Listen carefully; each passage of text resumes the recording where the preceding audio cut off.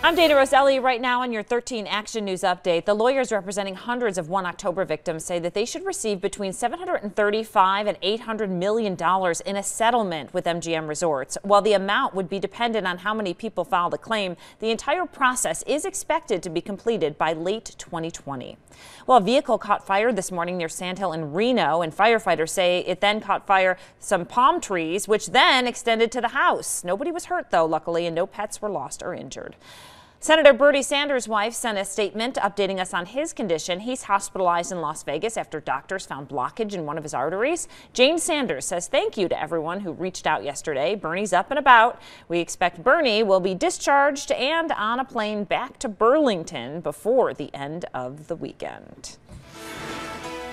Looking at a good dose of sunshine the rest of this Thursday afternoon. Temperatures uh, right around average for early October. That puts us in the mid and upper 80s. Uh, the one complaint, a little bit of a breeze today, some 25 mile per hour gusts here in the city. A little stronger wind up in the mountains. Late tonight, a little breezy down to 60 degrees for your low. Dana 80s are with us through the weekend. Should be calm and just about perfect Saturday and Sunday, but low 90s return next week. All right, that was your 13 Action News update. And you can find more on our website, ktnv.com, and also our free mobile app. Have a great day, everyone.